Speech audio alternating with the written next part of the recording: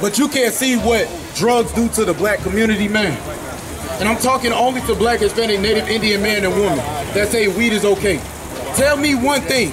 And again, like I, I told, I talked about in class, you can find anything inside anything and show or tell one thing that you're against or one thing that's a fault.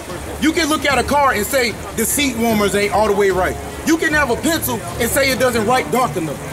You can have an athlete that says he doesn't run or jump high enough. So you mean to tell me weed crackheads? Y'all smoke weed and can't find one flaw, one flaw inside of smoking weed.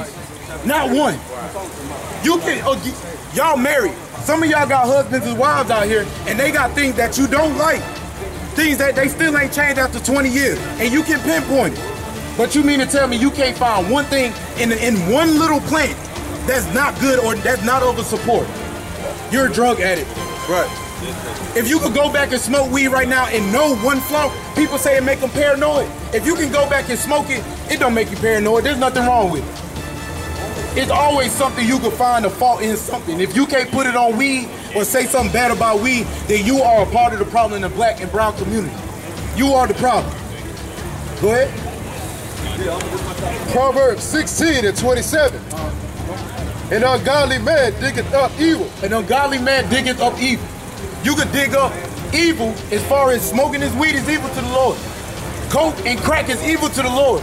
Y'all, y'all, y'all smoking shrooms now? That's evil to the Lord. Cigarettes and blacky mouth, that's evil to the Lord. An ungodly man would dig it up.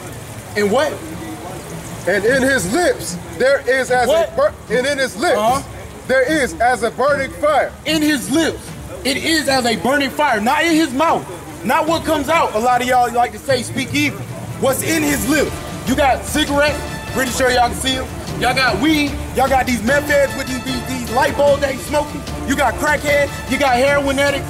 They, they kindle a fire between their lips, man. Right. It's between their lips. Oh, and ungodly man dicketh up evil and kindle a fire between his lips. You are a drug addict. And it's a, that's a law. Do not smoke. Don't smoke. The rest of y'all, y'all can go ahead and do it. I support y'all. I like to see it happen. But my people do not smoke. Right. That is the problem.